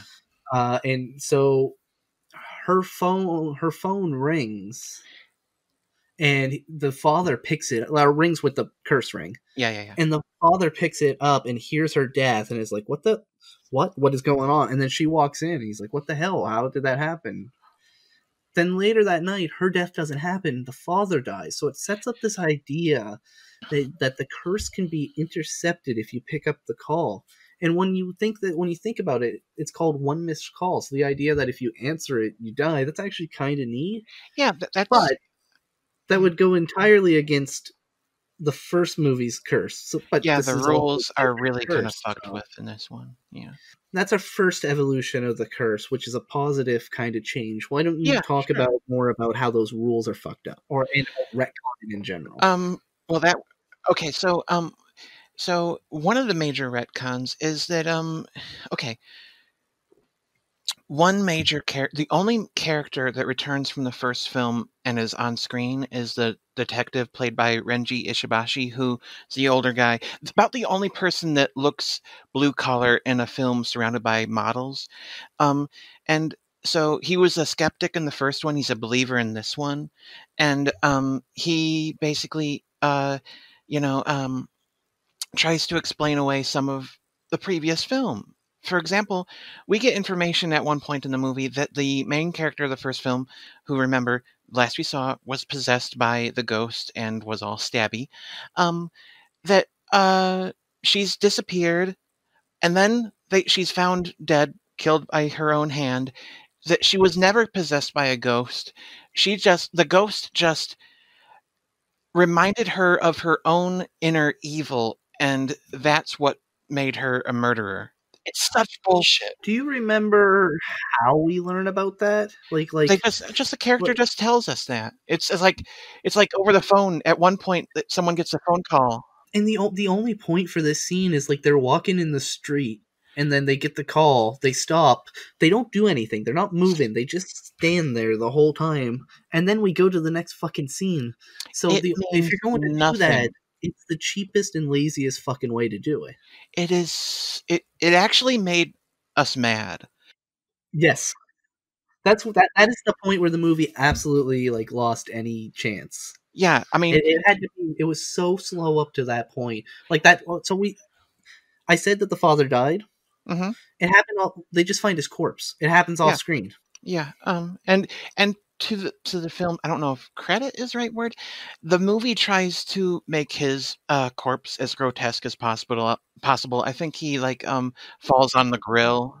Yeah, he, he does it which like okay, I kind of dig that, but then like they do like almost a they do the torture porn version of a close up Oh yeah, it. they're, absolutely trying to make you feel queasy at parts, and it's it, it really. I mean, I give the movie points for trying to do something different in the first film, but it doesn't do it well, and so those points are meaningless. and it's very lazy because it's it would be I do think that disgust is a perfectly I mean I write about this in screenwriting. I Mhm. think that disgust is a perfectly valid form of affecting your audience. Sure. It can be very very powerful but if it's the only thing you bring the show gets old real fucking quick Mm-hmm. and that so like if you're not if you're not nailing the rest of it and it and, it, and it's not even that i don't it could be fine to go pure disgust without any ghosts without Sure. any of the really suspense stuff but you have to really be nailing the story to keep people invested and you have to be nailing everything else and like one of the things that we've only kind of touched on tangentially through interjection on my part sorry Hmm. is that this film is shot really fucking ugly and just simple Yeah. and boring and It's a boring movie. and it it, does it looks not boring. have Miike's charm. No, no. Mike used great cinematography, great sound design, all these things to the film's benefit. This one, all right, listen. The movie is directed by Renpei Tsukamoto. I might I might be mispronouncing the first name. I apologize. Um, he had done only a couple of uh, things before this, and for the most part, his filmography is full of comedy and TV work. Um, to me, the that kind of uh, tells you a little bit about. There's not much in there to suggest a um, A visionary. yeah, there's this is not a um, director that works with a big skill set toolbox on how to make uh, horror scares and all the like, and it's just kind of it's a dull looking film. It's a it's a it's dull storytelling, and I just I really don't like this movie. One thing I do want to talk about is um in J horror in particular of this time was very much interested in how new emerging modern technology uh, was affecting um you know a younger uh, generation and and Absolutely. and oftentimes it used these modern devices uh, as some sort of source of scare. You know, one must call cell phone. To be fair, though, America was doing this as well. Sure, sure. I think I think this is a sign of the world at like well these these technical centers. Mhm. Yeah, and uh, you know, a lot of um, you see that a lot in a lot of J horror, and uh, like you say, a lot of horror at the time. One Missed Call, the first film, the Miike film, uses that as a springboard to just do its own thing. The sequels, to me, feel very much like they're trying to be cell phone horror films. The third one especially. Yeah, there there are multiple shots in both these films of uh, cell phones glitching Oh, up. right. and it's like that's not scary. It's like oh the this oh the text is deleting itself. That's terrifying. No it's not. It's not terrifying. This is really dull stupid Hey, horror. Tell that to tell that to Unfriended. unfriended um That's the right response. so um you know it, it, it's it's a movie the the sequels are very much more technology horror than the first film was and i don't think that that benefits either of them but i do think it's worth noting because of the the, the period of horror that these films came from. It's going it's going to especially be very very clear in one of the films that we're going to be touching. I'm not going to tell the uh, I'm not going to tell you when because we don't have it locked down yet. we don't know what we're but doing definitely in the definitely in the first ten.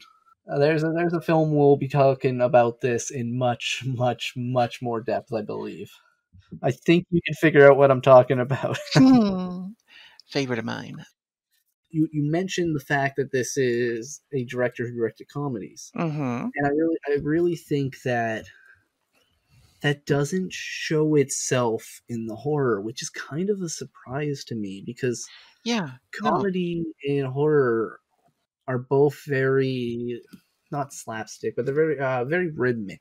Yeah, I mean, look at And- Sam Raimi. You can see how you know uh, horror gags and uh, comedy gags uh, kind of Well, I mean, intertwine. look at um, uh, what was the uh, the Goblin one? Uh, yeah, that, which was very Sam Raimi. Uh, Hiruko the Goblin. Uh, Yeah, which, which, which is like like that's that's Japanese version of Sam Raimi essentially, Yeah, and so you can have that comedy and horror balance, and they and show that the rhythm the rhythm does hmm work. And now this was I'm not saying this should have been a comedy because that's clearly not the right approach, and it doesn't try to be. I will give it points on that. hmm But it's very surprising that it doesn't have that right rhythm. But Yeah. then the Arrow release of the series has a short film that the director made. It's a promotional tie-in, what like two, three minutes? Uh, four, four, I think. when I watched it, I had a very visceral. I had a very, very visceral experience, but in my memory, in my memory, it has softened, and Mm, the only reason it has softened is is because like it's it's for the exact same reason I hate it because I hate it for the very end moment, but it Mhm. also looks like the one time when like the young actress is just like having a blast and has like a real like good Mhm. time, you know, like yeah. and so like in my, in my memory I'm like, well, like at least that kid got paid for a fun night or, or, like fun day, like Mhm. but It's still bad. watching it, I wanted to punch my TV, and I was like, "Oh my god!" Because you told me you watched it, and you told me to watch it, and I watched I did, it. I did, I did, yeah. If you remember anything more than the end, just Um, it tries to build suspense, and then there's the end, and it's Well, set okay, in an well- office, and it's just horrible. okay, okay, I can I can do better than that. Come on. Uh, okay, so what ha- what happens is we have this guy, I- police detective, I think, and he's he's like in this office, and he's calling, and he's trying to get. He's he or, or we like cut to her, and she basically just like shows up, and suddenly we're having like whatever the non-racist version of a Mexican standoff is. Between between like little tiny go- ghost and and him just like like what's going to happen? We know he's cursed. She's coming for him. Like it, it sets that up and it's actually it is it's not good No, but it's really it is really trying to build tension you can see that and you're like okay like i can see what this is going for and you know they probably shot it in an afternoon Mhm. with like lunch so- break, you know. but obviously they also wrote it on that lunch break hmm because they did not have an ending. So as they're facing, and we're waiting like what what fucked up crazy thing is going to happen to kill him? Because if you put a fucked up crazy death in that moment, then that that short promotional film will bring in ev- anybody. Like that will bring in Mhm. everybody. Yeah. But instead, like. he- I don't. I'm confusing what happens to him because it was really dumb. With what happens to the bully in the third movie because it was really dumb. Uh, di- didn't like in this Gomu, didn't like a bunch of post-it notes shoot out of his mouth? okay so that did happen okay so it, it uh, so like yeah a bunch of a bunch of notes or something shoot out of his mouth and the ghost like it wasn't this at the time but the ghost dabs away Yeah, dabs. like dabbing didn't exist but that's the, the ghost dabs away It's it, and, that, and then it just ends and you're like what because because you're and you're pissed off at it because of the fact that like it builds up to this and you're waiting and you're like okay you have it yeah, it feels like a prank on the audience, and it pretty much is. But here's the thing: I wonder is, um, okay, say this was a promotional tie-in, which I mean, we have every reason to believe it was. It's obviously set in the One Miss Call universe. yes Who is this movie for? Who is this short movie for? Who is who's gonna see that who's the think, audience that's going to see this? What, who's going to like? Who's, who's going gonna to see that short and think, ah, that, that's a that's a fine representation of One Missed Call Two. That'll get me to the theater. What the fuck That's, is? that's why I say you put a gory scene there. That's how you make it that. Yeah, but I really it's don't know not a what to make of comedy. So why do you end it with a comedy shot? Yeah, it's it's bizarre. Um, I almost kind of, yeah, I'm almost kind of admiring how, at least it, it's weird how the ending stands like my, out better kinda than, like my short. yeah, I mean, that's that's just, that's also my short film. yeah. My short film was all about just getting to the end. Happy ending. But here's the thing, though. You say that it kind of feels like a prank on the audience, and Mhm. it does the exact. They do the exact same thing almost in the third one there because they do like a. They have a moment, and it's really good, and it's Yeah. getting really intense, and you're Mhm. like, "What is about to happen?" and, And, then, it drops a the ball joke. in every way, and we're gonna have to get into that in a moment. Mm. But you got anything left to say about the second one in the short film? Because I fucking I'm tired of it. Final verdict: I don't like them. It wasn't good. Neither. I'm glad. I'm glad. I'm.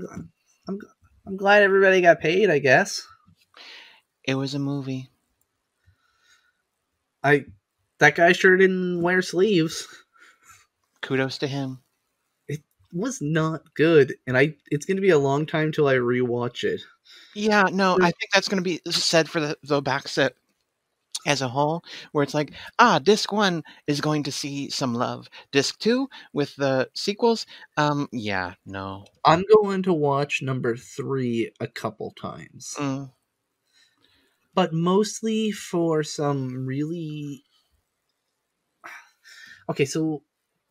Uh, okay, I'm just going to do the rundown. Number three, real quick. In Sure, number three, a class of kids from Japan, or it was a class, right? yeah, yeah, That's it's what a, it was. it's, it's a high school class from It's Japan. high school class trip. So this class trip goes to South Korea, hmm where we meet the most boringest character who has ever been in a movie. We'll Yeah. get to that. The Korean. and why they're in South Korea, a curse goes around with them, and with this curse to to build on the evolution of curse discussion, uh, there's an evolution where what this one is is not a call but a text message or an email. It sounds like an email I, I, because I didn't, but it's I think it's a text message. I'm not sure. it, it, it, it operates the same either way. Yeah. The idea is if you get this message, you, you can forward it to somebody and that will kill them instead of you. Yeah, yeah. Forwarding so saves you, but it dooms someone else. Yeah. And the film gets into some amazing stuff with these kids and not none of none of the stuff like none of the stuff that happens with like it's not like oh this is amazingly written. It's just like okay like this is really dark and fucked up. Like for one Yeah. example they they they the, they take the nerd's phone because he gets it and they shove him in a closet and they just wait and listen as he dies and this that's a really cool death where his fingers bend backwards and stuff hmm and it's really fucking cruel One And then called late- is dark. Really, it kind of is. there's there's another one where like the bullied kid uses it to get revenge, which I want to talk more about that one. And there was um the teacher gets sent one, hmm uh, which was fun, and the teacher was taking everybody's phones away, so he was essentially damning them. So basically, the kids were like, "Well, we have to kill him." But there was there was one there was one more that happened that was really really dark, and it was just like, wow. It's just it's it's a little bit like it's it's really cruel. It is it's very cruel, and as they're as they're as these kids are going nuts, they are like doing like like when it first starts out, and there's a lot of them, hmm and like they start scrambling. Oh yeah, I love the shots of them all running in the hallways. Well, it, it's very it's very physical. It's very like Zulawski sort of is always very physical and very running and like very sloppily and hidden into things with uh his the actors in his movies and it reminded me of that. And so there's this really really really really kind of neat thing that's happening here with the this all. And then um that's like 20% of the movie and the rest of the movie is the fucking boring thing that gets into some little bit of weird cool stuff but like never in an interesting way. And so if you remember anything else about it i think i've finished. Okay, well, um, m- much of this film is about bullying, like abuse from the first one, that is true. and the second well one. it starts with the hanged girl too. Yeah, that's right. Okay, so, um, this one has to do with bullying, and um, it starts with a, a high school girl who committed suicide, or did she? And um, and so the the curse is being sent by uh, Oh, a bullied teen who we later find out is in a coma. But that's another thing. And um, but that's a confusing thing yeah, that's the confusing part. And so much of the movie, it's it's stupid. But so much of the movie is her at her computer tracing her mouse uh, over the screen of her class photo and- and oh, turning the turning the faces of her classmates into ghost distorted faces as she's like deciding who do I send it to next. like, like like every found footage film about a ghost did for like three years there Yeah, but it keeps doing it. It thinks it's such a Oh. cool visual, and it just oh it's in love with it it is in love it sucked. And so she's a bullied individual who's exacting revenge. And then the curse goes out into uh, the class, and so many of these kids uh, basically are kind of sort of responsible for uh, the suicide earlier in the film. But the thing is, though, once uh, the curse starts entering the the the school body and um, being passed back and forth, it's again uh, raises some issues of bullying and uh, um, and youth violence as some of these kids who some of them are bullies or some of them are just weaker and so they are taken advantage of by the group and then there's one kid who um, when he gets the text he decides to send it to his bully and just laugh as the bully Can- freaks the fuck out I'm on that kid's side though. I gotta be honest. Until he starts laughing, but like he doesn't just send it to the bully. He is there, like he has it, and he hasn't done anything, and they come at like that Yeah. bully comes after him and gets everybody, like everybody on his side. Everybody. hmm We have to talk about this scene. okay but before that i just want to say so much of the film has uh, a sort of a um, what do you call it uh, battle royale and um, Yes. and uh damn it what's the lord of the flies Sort sort of of flies. I was thinking about that with uh, Yeah. like Piggy there. yeah there's a lot of that in this movie and i kind of like that No part. That's the thing. That's the good part. That Yeah, all that stuff stuff- so interesting. it works it really does and i i like the mad scramble of that section of the film but then it makes some bizarre choices about chickens uh, well, it starts with a bizarre choice about a chicken. I mean, you mentioned that this was the film that you just remembered chickens, and like That's that all I there was a chicken in the first like Chicken. minute, and then the girl. Oh yeah, the bully, like or not the bully, but the girl at the computer that's like making everybody die, sending out the. yeah she's got a thing for chickens She Pecking keeps order. chickens and pecking order, yeah but we got to talk about that bully's death because this is this is almost the best. This is both the worst and and best scene. Yep. So you have you have this mad scramble like you just mentioned, and the kid finally like they're they've they've got him backed into a room at this hotel. It's Mhm. a hotel, right? Yeah. yeah yeah And So they got him in the back of a hotel room, so there's like nowhere to go. Everybody's crowded in. He finally sends it to the bully, and once you send it, you can't like resend it. So, right like, yeah that's the thing you that- are dooming that person and so the bully the bully like starts to like just kind of stay there and freak out like kind of Mhm. standing there and he's starts I- convulsing and like gagging a little bit and his like eyes start going red and like blood starts kind of leaking out and you're like oh my god what the fuck is going to happen Mhm. and his like the veins are starting to like pop on his face and, and it's it's like the Steiner head blow up. You're, you're I was about expecting something like that. I was about to say scanners you beat Yeah. me to it it's absolutely it's so scanners well especially though uh, the end of scanners though too when like they- Mhm. they're focusing The so veins. hard yeah. start popping Mhm. Oh, so yeah, so uh it's totally like that. But then he opens his mouth and a bad CGI effect of not blood but something dumb comes out and I don't even remember what it was. How can you not remember what it was? Was it corn? No, chicken feathers. He just Oh, vomits Of course it was chicken. chicken. He just vomits chicken feathers. It goes blah, and then all these chicken Oh. feathers shoots out of his mouth like he's a fucking pillow that got burst. And Oh my god, It it was so over dead. bad. how, It could, was- how could you not remember that? The chicken chicken death. Be- because my brain blocked out the memories to try to protect me. It was for my own health. And then the movie was like, "That was good. We're gonna keep on talking about chickens." And the worst part is like everything up until like like like first off, bad CGI effect. oh no. yeah, it was horrible. but they could have done anything. They really could have done. I mean, even if you wanted to, stick with a chicken theme, you could have done some messed up things with um feathers Have a or A shit. real chicken, have a full live chicken come out of his mouth. Yeah, something or, or or peck its way out of his stomach. I don't know. But That- the the, That would have scene, been cooler than what they did. They they, they could have.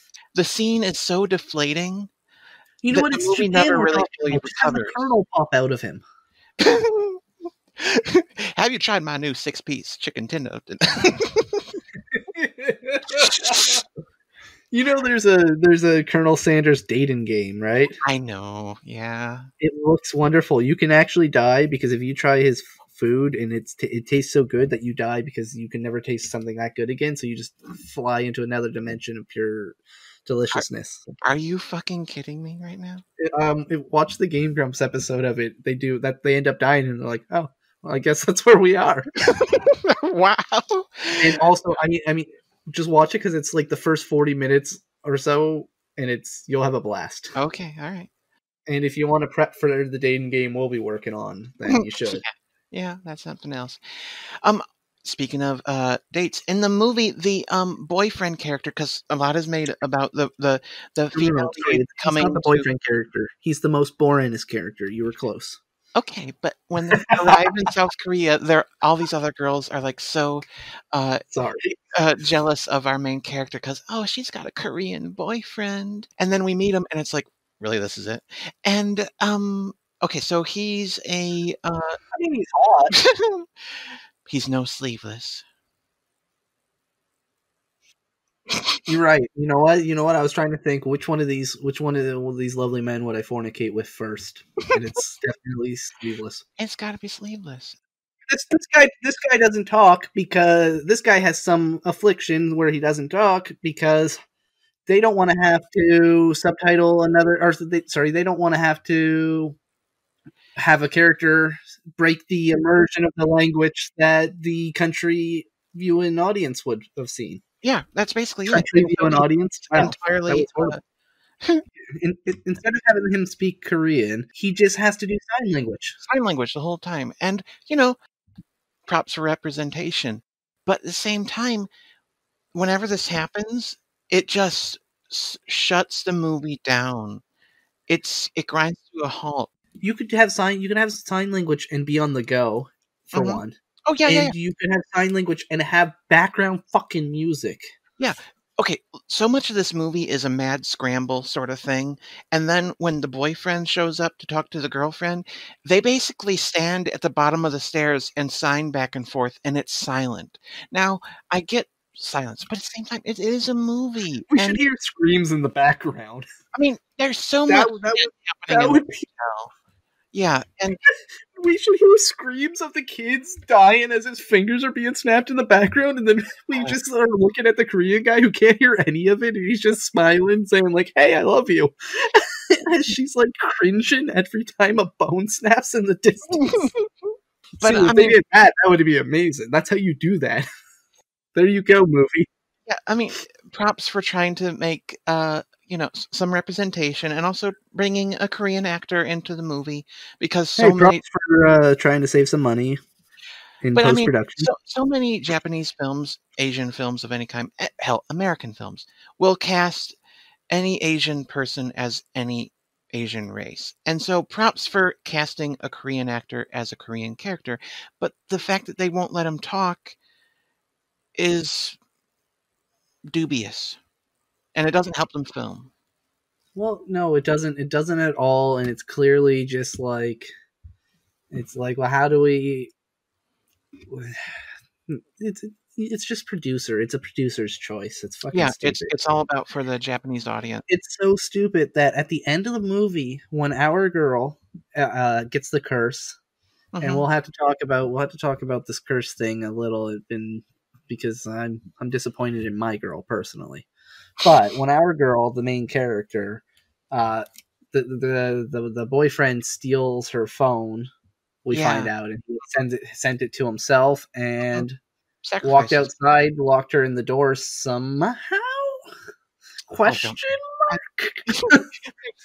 and uh, just went and went and died in the street. And I'm pretty sure we cheered, and I think we were supposed to be crying. Yeah, we we we we we, we definitely cheered. Um, um, the thing is, it, it didn't show us the death. It showed us her reaction to some squishing, I think, and um, I remember. I remember him. No, like it, like uh, he does. He does. I do. I do remember him like oh, that's right. arching Yeah, backwards, arching that's forward. right. Like, We do see that. Yeah, that's right. we that's see right. we see like the start the start of it because we like see him just enough so that we know that he's in pain and then which which makes sense because like you got to show that if you want to make it like if, if you want the sacrifice to be a sacrifice you got to show i mean the life part is but it's like making it a painful death makes it real hit home. That makes sense. But and it's not this film. Okay, here's another point. Actually, Mhm. this film has like like the, the the fingers bending backwards is a graphic effect, Mhm. but this film is not torture porn in the way the other one is. No, was. not at. No, no. It's that this one does it really well. There's actually a really kind of unnerving shot or repeated shot throughout the film that I remember in particular you you didn't like um where the the ghost child has the face of an adult and it's it's a bit weird.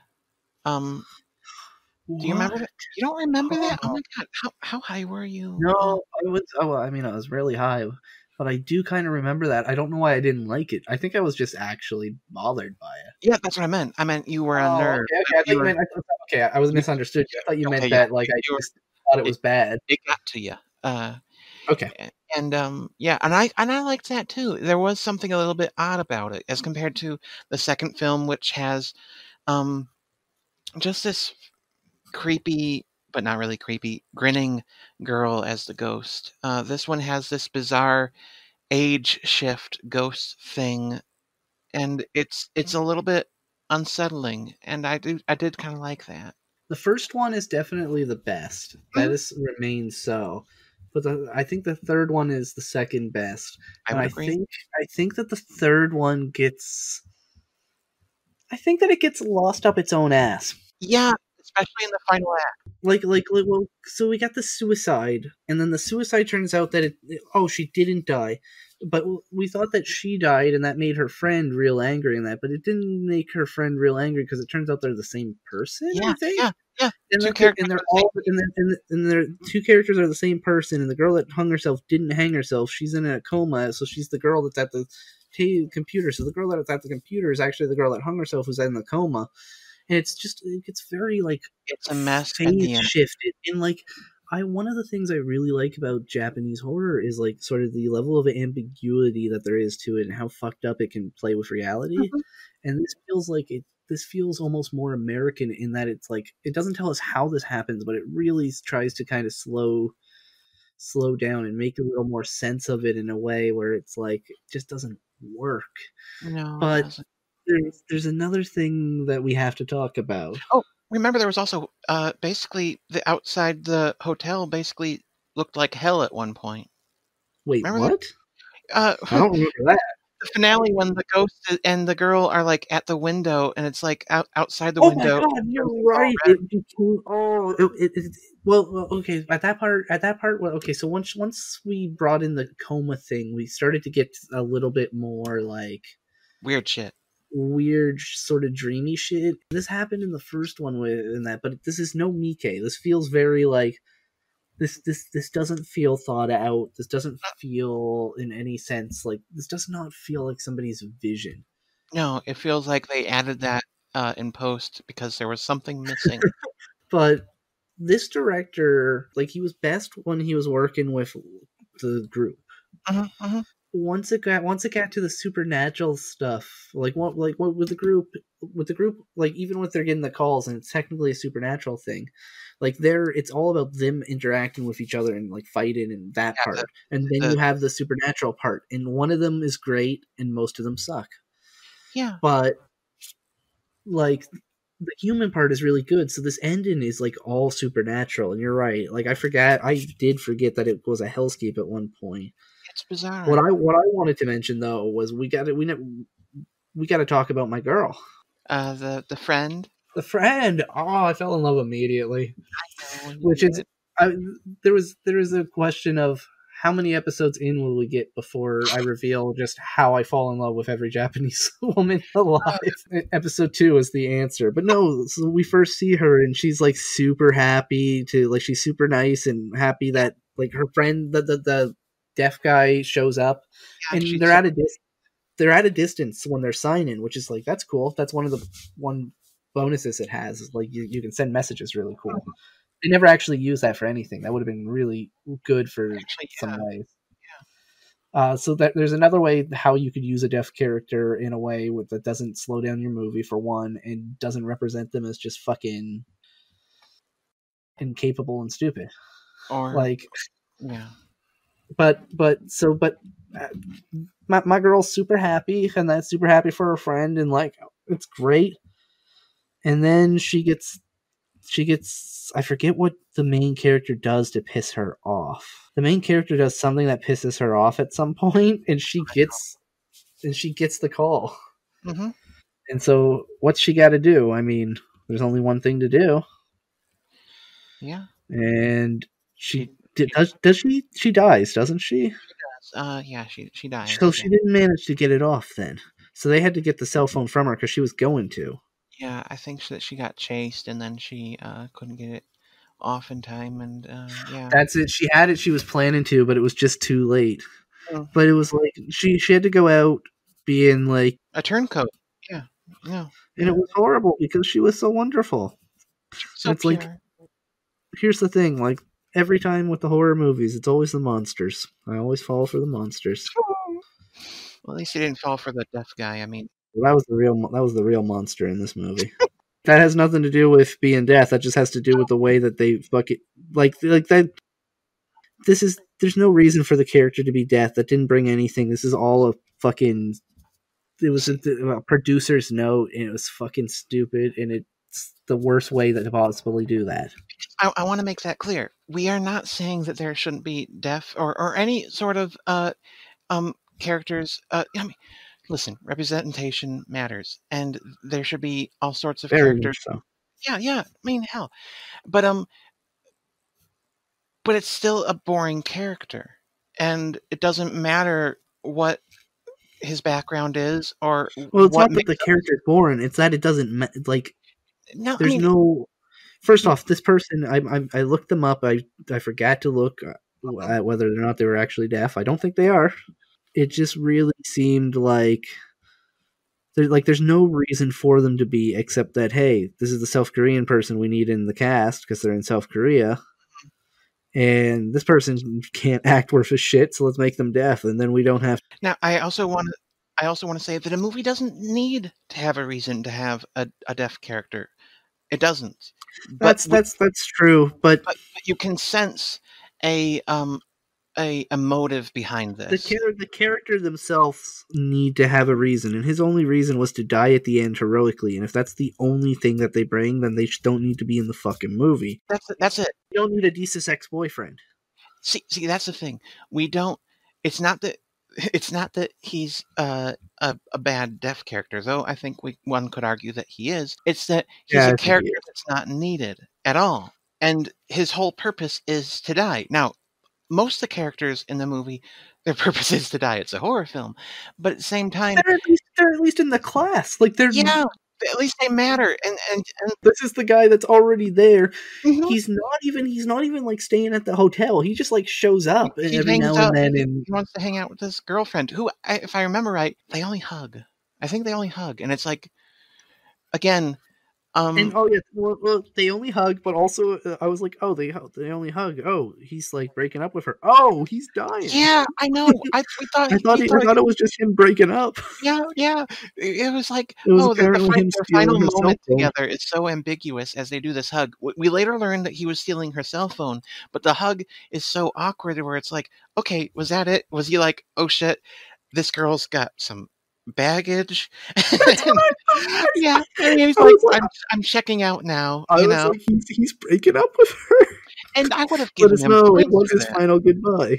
Yeah, and I can't But- even but remember wait, it throughout wait, the Can we, go, can, can we go into her? Can we go into her head? Okay, does she know? I don't even know if she knows she has it. So if that was her final goodbye, so she thought that she was dying then. Oh, she did. She died. She. Okay, she okay, so died. she thought she's dying. So wait, she's about to.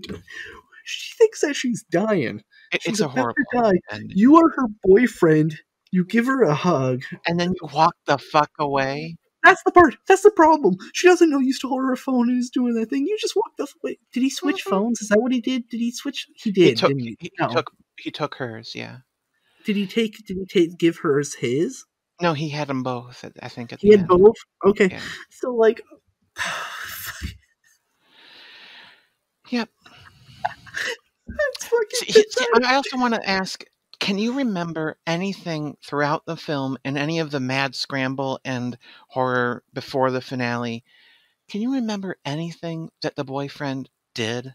other than talk to our girl uh, and in a He- silent no, I, hallway? I, I, I don't. I legit.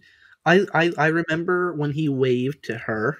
Yeah, no, but I mean, like Because in the hotel because of- when things are going girl. down, is is No, he ever no, present? I, I don't think so. I don't think he's. I don't think he does a single fucking thing except that he he is the Deus ex boyfriend. The, the only he is he is only in the film to write a way out to save the main girl. Fuck, I hated that. And it's like and it's like this is the, first off it's Japanese horror. Like look at look at what happened. Like look at the look, look at the biggest um like the Grudge and stuff. Like look at some of the biggest influencers here. And like they, they were like, no, everybody fucking dies. What are you talking about? And and on the note of representation, it is not good representation when you put a, a character into a film to be a sacrifice for the perfect woman. You know, I mean, it's just not. I mean, I'd sacrifice myself for the perfect woman, but that okay, okay, but you, you, you, that's not the point I, know. I, know, I know what you I know what you mean absolutely, and I agree one hundred percent. That is not the perfect woman. No, no, Uh, no, she- she- she's a horrible character herself. Like no. She is. That's the thing we also need to talk about. nobody, nobody is like like nobody is written well. No, everyone's a dick. Um, They're not even they're not even archetypes. They are just everybody is just an The bully- asshole. The bully you know and the victim are archetypes. I would argue. But they're not. An archetype has more depth than they would. They're not Hmm. archetypes. They're fucking caricatures. Okay, yeah, I- I would especially agree with that. With I, I thought the teacher characters were all right, but they were still caricatures. I mean, this was the teacher that frowns at everybody, and it's like I kind of thought he was amusing, and I thought his death was amusing too. But there's not a character there. He's a He's a Uh, concept. yeah. He's a pretty much. concept given flesh. And I want to say also that though the characters suck in this and the finale sucks, there is still fun to be had in this movie. There are moments. I do. I I I like a lot that's in this. I would I would put this on while I'm doing something else and like watch the parts I like. Probably. Yeah. I mean, it doesn't add up to much as a whole, but there it's better are than Unfriended. there are scenes though that work. And um and I'm glad I'm grateful that it says final in the title. Yeah, I am too. And I and like most of it, most of like the battle royale stuff, which like twenty percent, sort of like all the scramble. If that was the movie, like if it stuck where it wasn't like let's do this coma thing with that. If it was just simply like, oh no, all these kids have this curse happening. Mhm. And then, and so we can just have and just like go through them until we're just like down at the end. hmm If it really just like narrowed in like that, that would have been an Yeah. amazing movie. Even, even if even if it was well, first off, if you cut out the Akoma thing, you'd cut out the chicken thing, so we might actually get a good death from that bully. But pretending that saying that none of the rest changes, but the stuff that's in it like that is already still in it. hmm Like it would be fine if it missed some of them or came like subpar on some, because like the rest of it would be good. It's almost like it needed to be a less ambitious movie. Or at the very least a less crowded one. It needed to be yeah. I, I actually I think less ambitious is kind of interesting, which is I think it's more fit in, and I think that's interesting that in the third one, it, ambition's the problem. Yeah, because the second one they they they don't have any. No, I mean, I, you know what? I I actually I, I disagree. I think the problem mm-hmm. is the second one they have too much, and they don't do anything. I think like I think like they really wanted to sell that romance. Yeah, okay. It just didn't work. There's no chemistry. There's no scares. There's no. There's too many fucking sleeves. so yeah, that's that's our movies. Uh, one missed call, great. One missed call two sucks, but hey, they're sleeveless. And one missed call final. Uh, there's some good stuff, and then the, then it ends with some bad stuff. And that's the trilogy. Isn't it interesting how we managed to jump the shark on episode two? How how how do you mean? I mean, we we- we start with a great film, and by episode two, Oh. everybody's like, "Oh, fucking shut up! These films suck. I get it." I mean, this was always going to be back and forth. Our next one, neither of us have seen, and the, the next episode, so uh, that's going to be interesting too. Uh, so there's going to be some ups and downs, you know. We we decided that we're gonna start saying what we're gonna watch next episode. Right now, we're building up episodes, so when this airs, actually, this will be coming out the same day the last one did, even though it's some days apart in recording. Uh, yeah, some some many. But- At some point, we'll be hitting a place where you know we're not one for one, but we're we're a little bit closer than we'll be right now. Mhm. So like we'll we're gonna start telling you now, but So, um, uh, tell tell the next movie now. yeah, what's the next one? So, uh, next movie is Jun Fukuda's uh, sci-fi horror film from the early '60s, "The Secret of the Telegian." Um, it's a early, uh, well, not I guess not that early, but um, it's I know it's a, nothing about this. okay. So it's kind of uh one of the I think the um the direct translation of its Japanese title is something about the transparent man. And so it's kind of like an invisible man sort of horror film, I think, if I recall. But um it's it's it's uh with special effects from Eiji Tsuburaya, who did a lot of this uh Godzilla films and created Ultraman and stuff. So it's gonna be Oh, yeah, so it's gonna be um you know a classic kind of Toho sci-fi horror. You know, they, they didn't they didn't make a whole lot, or at the very least, it's, they're not well known in the the West of their sort of um sci-fi horror on a more human scale. But they did Okay, make so, so it never really gets into like Toko territory. No, no, this is not a kaiju movie. And if it if it surprises me and it turns out to be something, uh, you know, you're be very happy. I'll be happy, but I will be surprised. Um, so this is this is more on the along the lines of the human vapor, H Man, and Matango as far as uh, Japanese horror films of the. Okay, I've only seen one of those. Matango is so good. Yeah, that's the one I've seen. okay, so, this, so that's going to be the next one, and I know what we're going to be doing after that, but we'll save that for now. Sure. Do you have anything else to say about these these Fine lovely films?